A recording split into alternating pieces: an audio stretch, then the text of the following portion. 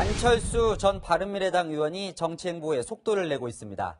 서울 신촌에 새로 마련한 사무실에서 측근 의원들과 첫 회동을 갖는 모습이 단독으로 포착됐는데요. 그 현장을 안보겸 기자가 취재했습니다.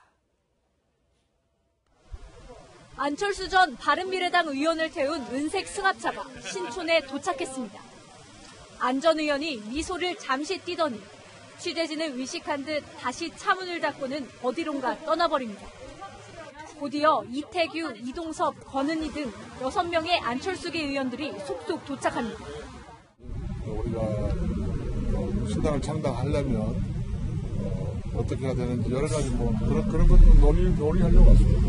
의원들이 그 느끼는 예, 뭐 국회와 총선 전의 분위기 이런 걸 좀 전달하는 그런 자리가 안철수 전 바른미래당 의원이 귀국 전부터 신촌에 마련한 사무실이 있는 건물입니다. 안 전 의원은 안철수계로 불리는 의원들과 이곳에서 1시간 20분 동안 향후 진로에 대해 의논했습니다. 바른미래당 리모델링, 신당 창당, 보수 통합 등 다양한 주제를 놓고 의견을 나눈 걸로 전해졌습니다. 어떤 이야기 나누셨습니까?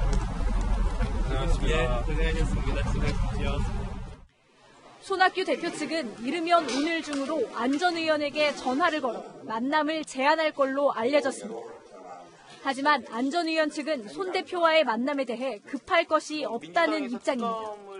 만나고 싶은 분들, 찾아뵙고 싶은 분 먼저 뭐 하는 게 우선이니까.